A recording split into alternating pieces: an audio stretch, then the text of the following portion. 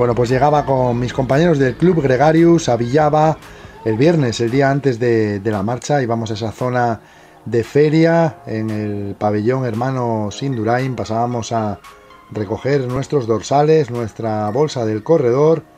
Y como decía, ¿eh? mucha gente que se acercaba para ver los stands y sobre todo para compartir, compartir con los amigos con los que habían ido a la marcha, conocer otros ciclistas y también estar cerca de Miguel, que su humildad hace que, esté allí horas y horas para hacerse fotos y conversar con todos los participantes. El sábado a las 8 de la mañana era la salida de las diferentes pruebas y ahí está el gran Juan Mari Guajardo que iba a poner voz a esta Indurain 2023 iban llegando los participantes eh, y entre ellos, pues como no, Miguel Indurain. La verdad que es un lujo poder estar cerca de, del campeón español y como os digo, es siempre muy cercano, siempre conversando y haciéndose fotos con todo el mundo. Da gusto, 1300 participantes, ¿eh? Y ahí estaba yo. A ver, yo no sabía muy bien qué marcha hacer, pero bueno, finalmente ¿Qué tal amigos de Ciclismo a Fondo? ¿Cómo estáis? Aquí estamos, preparados ya para hacer la Indurain, tres distancias, 60, 100, 180. ¿Adivináis cuál voy a hacer yo? La de 100, 100, la de 100, la de 100 bastante ya. Vamos a disfrutarla, la marcha de uno de los más grandes, así que buen tiempo aquí en Villaba, a por ello muchas historias, ¿eh? cada participante con una de ellas. Yo me encontraba a Domin Piñero que me contaba esto. Eh, mira, la Asociación Corazonet, pedaleamos eh, por Hugo, que se llama El Reto. Me he venido de Almendralejo hasta Pamplona en bicicleta y ahora el reto es también hacer la endurance en la, la ruta de 180 kilómetros. Pues a por ello, voy a grabar aquí. Ahí tenemos a la asociación. Y la colaboración es un euro por kilómetro hecho. Muy bien. Podéis comprar kilómetros a un euro y así ayudar a uno. Vamos.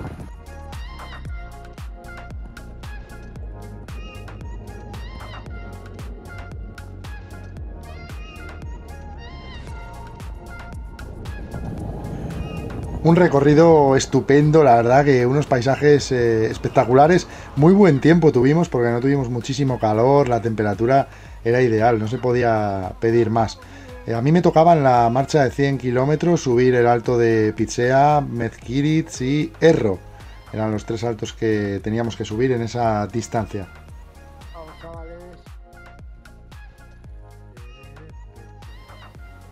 Los participantes de la marcha de 180 hacían el mismo recorrido que nosotros hasta el desvío, por tanto subían también esos tres puertos y además tenían que subir Egozcue, tenían que subir Velate y Artesiaga, un puerto espectacular. ¡Vamos!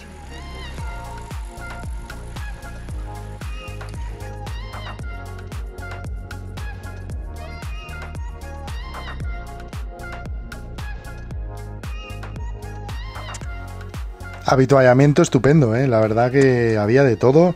A mí me gustaron en concreto unos sándwiches que había de, de jamón y queso fantásticos, porque en muchas ocasiones en las marchas lo que apetece es eso, ¿no? Algo, algo salado. Muy buen ambiente en el habituallamiento.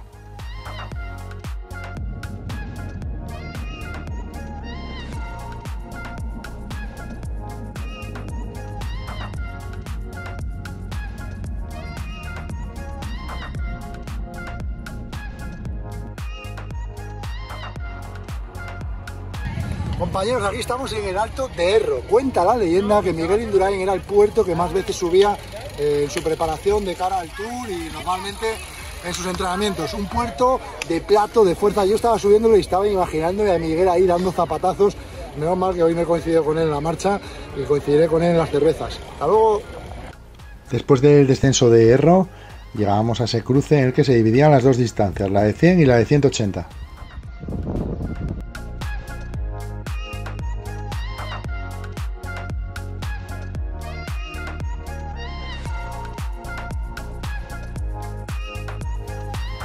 Nosotros decidimos justo ahí en ese cruce pararnos a tomar un pincho y una Coca-Cola porque había un sitio muy agradable para aparcar las bicis y todo. Estuvimos ahí sentados un ratito, descansando y cogiendo energía ya para afrontar los últimos kilómetros hasta Villava, hasta esa recta de meta y culminar la Indurain 2023.